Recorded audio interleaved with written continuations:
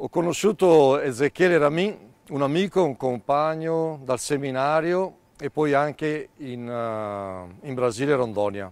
Eh, quando è stato ucciso io ero a un campo vocazionale con i giovani. Interessante che questo fatto ha provocato e suscitato in tre giorni il desiderio di partire e dedicarsi alla missione a vita. Poi io sono ripartito, era a Padova e sono andato in Rondonia sei mesi dopo che lui è stato assassinato in luglio del 1985. E ricordo un fatto che mi ha toccato, alla prima anniversario della morte di Ezechiele Ramio sono andato con un pullman, con una cinquantina di giovani, nella processione eravamo in 5.000 persone, tutta la gente di Cacoao, Rondonia, donne e famiglia, e mi è rimasto impresso questo fatto.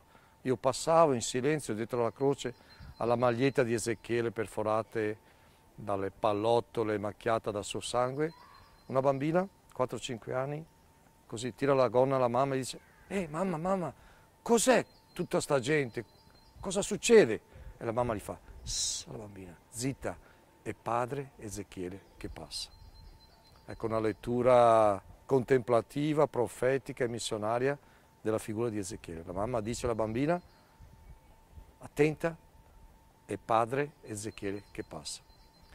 Ed è quello che succede oggi a tanti giovani, a tanti missionari, alla Chiesa brasiliana, ma anche alla Chiesa di Padova, con l'inizio del processo della beatificazione di Ezechiele Ramin, martire della carità, martire della giustizia, della pace e della missione.